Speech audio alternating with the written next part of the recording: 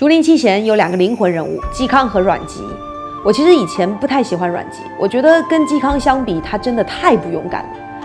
但是我感觉我年龄越大，好像越能够理解阮籍的怂，和他怂的背后那个从心的选择。我们上一集说到，嵇康的祖上随曹操打过仗，自己呢也是曹操的曾孙女婿。后来曹氏政权衰微，司马氏眼看就要取而代之，而这些曾经和曹氏家族有关系的人，都是司马氏的屠杀对象。然而很奇怪的是，阮籍一家其实也是亲曹一派，但是阮籍居然没事。阮籍的父亲叫阮瑜，是一位伟大的文学家，建安七子之一。同是文学家的曹操呢，也非常喜欢阮瑜，为了请他出来做官，不惜放火烧山。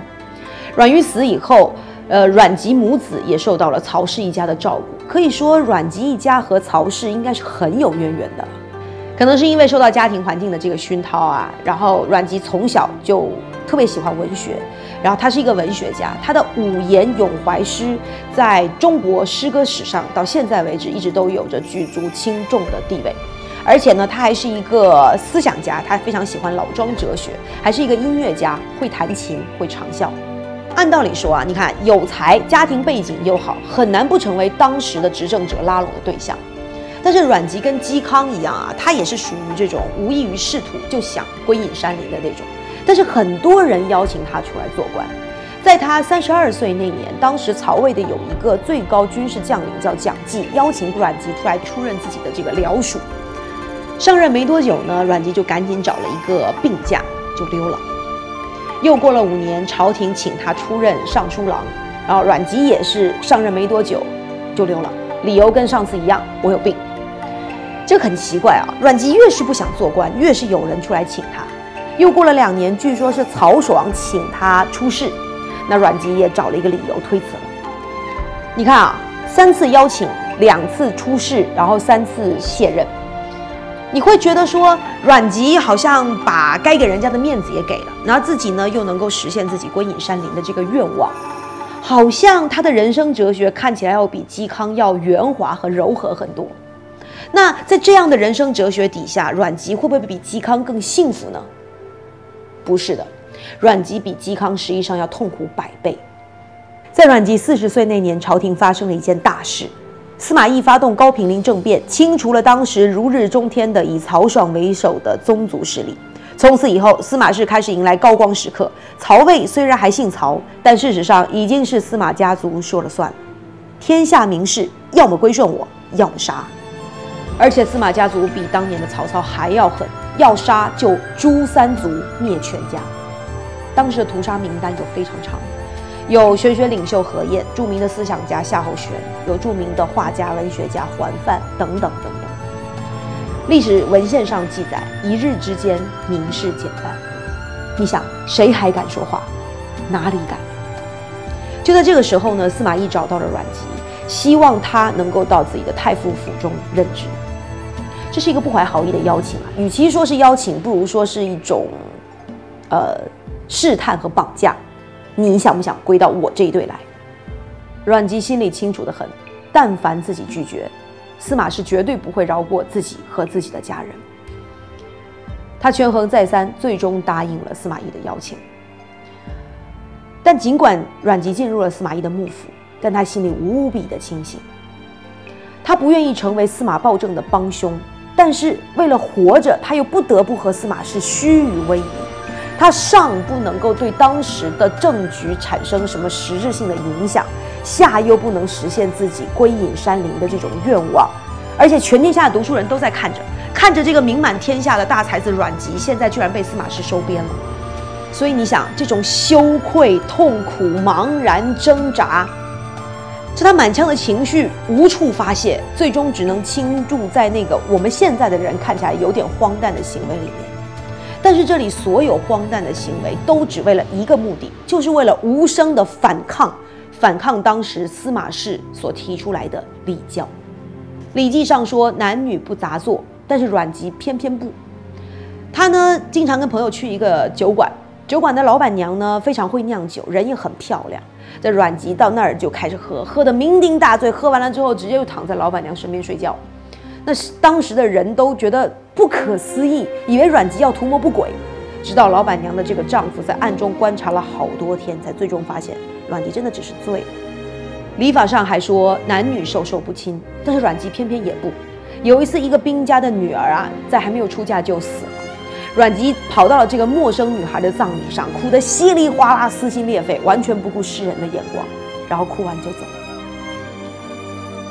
在阮籍看来，一切美好的事物都是值得亲近的，一切美好事物的凋谢，都值得让人痛惜。而阮籍自己呢，他不敢死，然后又活得很累，那他这样的一条美好生命的出路又在哪里？于是我们看到阮籍经常自己一个人驾着马车出门，不挑路，完全任凭马车狂奔，跑到哪里算哪里，一直走到山穷水尽无路可走，他才停下车，然后对着天地虚空、山野丛林放声大哭。我每次读到这里的时候，我都觉得特别的难受。不知道你有没有过那种感觉人生很绝望的时候，就是。不知道出路在哪里，然后又不敢在人前表露自己脆弱的情绪。我想，如果有过的话，那你一定能够理解阮籍在那种穷途末路之时，面对万物无物的痛哭。哭完以后，就是醉。司马懿和司马师死后，司马昭上位，这个人的城府丝毫不亚于自己的父兄，他想要拉拢阮籍，于是就提出让自己的儿子司马炎娶阮籍的女儿。我们知道司马炎啊，三分归晋，他是晋朝的开国皇帝，这是一个绝对是攀龙附凤的好机会啊。但是阮籍不愿意与司马氏为伍，但他又不知道应该怎么拒绝，于是他就喝，每天一直喝，一直喝，一直喝，把自己喝得烂醉，酩酊大醉六十天，醉到提亲的人上门了都无法开口跟他说话，醉到后来司马昭也无话可说，只能作罢。想想啊，哪怕你再喜欢喝酒。哪怕你是个酒鬼吧，让你酩酊大醉六十天不省人事，那真的都是生不如死的折磨。但阮籍没有办法，他的好朋友嵇康以一纸与山巨源绝交书向世人宣告他要跟司马氏宣战，然后慷慨赴死。但即便嵇康已经这么勇敢了，他也不得不在狱中写下家戒，告诫自己的子女们一定不要像父亲一样，一定要谨言慎行，小心做人。鲁迅说：“无情未必真豪杰，莲子如何不丈夫？